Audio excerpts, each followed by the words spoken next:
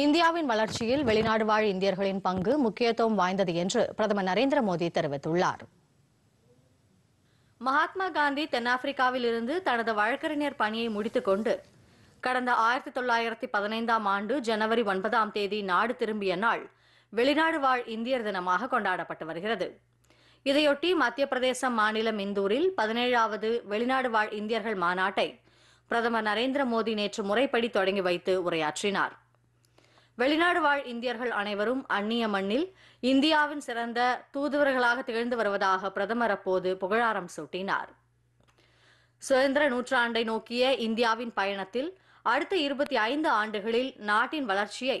வெளிநாடு வாழ் இந்தியர்களின் பங்கு முக்கியமானது என்று தெரிவித்த அவர் இந்தியாவின் தனித்துவமான கொள்கையும் உலக அரங்கில் இந்தியாவின் பங்களிப்பும் வெளிநாடு வாழ் இந்தியர்களால் மேலும் வலுவடையும் என்று பிரதமர் குறிப்பிட்டார். அறிவாற்றலின் மையமாகவும் திறன் மேம்பாட்டில் தலைமை இடமாகவும் இந்தியா திகழ்வதால் நாட்டின் வளர்ச்சிக்கு உதவுவதுடன் உலக அரங்கிலும் முன்னிலை பெற வழிவகுத்துள்ளதாக பிரதமர் தெரிவித்தார்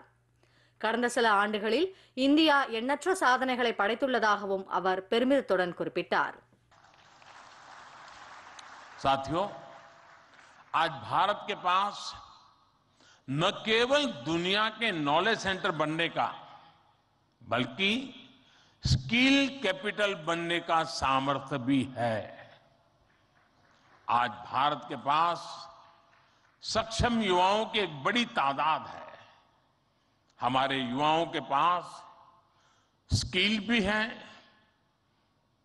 वैल्यूज़ भी है और काम करने के लिए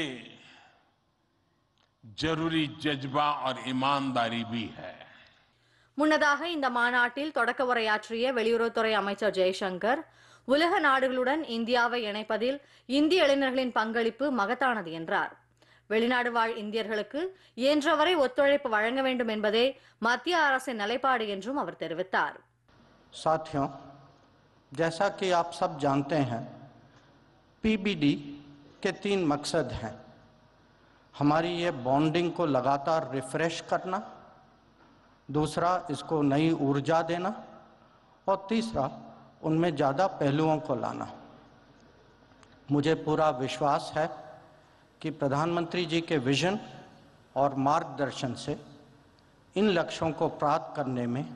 हमें पूरी सफलता मिलेगी தொடர்ந்து இன்றும் இந்த மாநாடு நடைபெறுகிறது